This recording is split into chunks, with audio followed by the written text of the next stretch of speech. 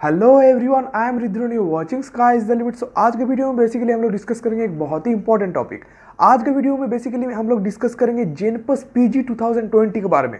जी हाँ दोस्तों, आज बेसिकली हम लोग डिस्कस करेंगे जेनपस पीजी मतलब जो पोस्ट ग्रेजुएट डिग्रीज है जेनपा एग्ज़ाम दे के तो क्या क्या आप पीएससी बोल सकते हैं नर्सिंग कर सकते हैं जो जो आप पैरामेडिकल कोर्सेज भी है, उसके बाद आप क्या कर सकते हैं, उसके बारे में आज बेसिकली हम लोग डिस्कस करेंगे। तो हर एक कोर्सेज के बारे में डिस्कस करेंगे जेनपस पीजी 2020 का। तो बहुत ही इंपॉर्टेंट वीडियो होने वाला है, और आपको ये भी बता देंगे कब आपका जेनपस पीजी 2020 एग्ज़ाम होने वाला है। तो वीडियो बहुत ही इंटरेस्टिंग होने वाला है। वीडियो को अंत तक देखते रहिए। और अगर मेरे चैनल पर नया तो मेरे चैनल को सब्सक्राइब मस्ट कर लेना, क्योंकि ऐसे ही बहुत इंटरेस्टिंग वीडियो इस चैनल में आपको मिलते रहेंगे। तो चलिए, ज़्यादा समय लेते हुए वीडियो को आगे बढ़ाते हैं।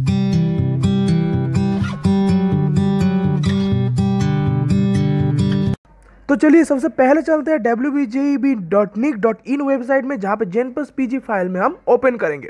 इसको ओपन करने के बाद नीचे इजीली स्क्रॉल कीजिए तो आपको मिल जाएगा हर एक, आप बोल सकते हैं कोर्स जो आप कर सकते हैं जेनपस पीजी में। तो सबसे पहले जो आप कर सकते हैं पोस्ट बेसिक बीएससी नर्सिंग मतलब जो जीएनएम नर्सिंग है, वो अगर बीएससी नर्सिंग करना चाहते हैं तो पोस्ट बेसिक बीएससी नर्सिंग करना पड़ता है। तो वो लोग कर सकते हैं, अगर एएनएम नर्सिंग कर रहे हैं, आप जीएनएम नर्सिंग कर रहे हैं। तो ये उनके लिए है। नेक्स्ट आप देख सकते हैं एमएससी नर्सिंग अब एमएससी नर्सिंग में बहुत सारा ब्रांच है, आप कहाँ जाएँगे वो आपके ऊपर डिपेंड करता है।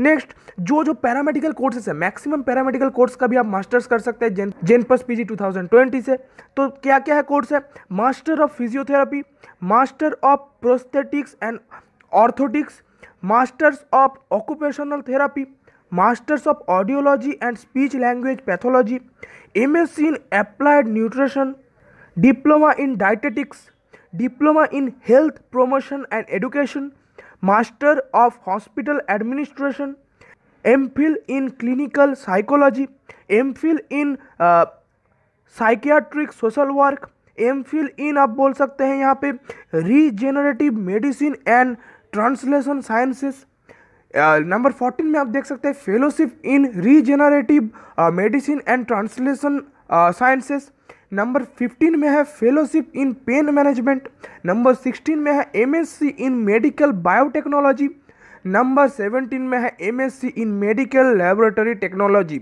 तो बहुत सारा कोर्स आपके पास है। आप कौन सा करेंगे, कौन सा फ़ील्ड में आप है, वो आपके ऊपर डिपेंड करता है। तो अगर आप किसी पैरामेडिकल कोर्स कर सकते हैं तो मैं बोलूँगा आप जेनपस पीजी दीजिए। अगर आप कोई, आप बोल रहे हैं जेनपस पी दे के आप कोई नर्सिंग हो बीपीटी हो, कोई अदर कोर्सेज कर रहे हैं तो भी मैं बोलूँगा आप दीजिए। एंड अगर आप ए और जी नर्सिंग कर रहे हैं तो भी मैं बोलूँगा जेनपस पी एग्ज़ाम दीजिए। ये आपके लिए बेनिफिशियल होगा।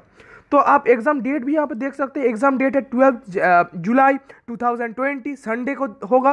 तो फर्दर और भी इन्फॉर्मेशन आया तो मैं एक के बाद एक वीडियो आप लोगों के लिए बना दूँगा। तो फर्दर और भी इन्फॉर्मेशन चाहिए तो मेरे चैनल को सब्सक्राइब कर लेना।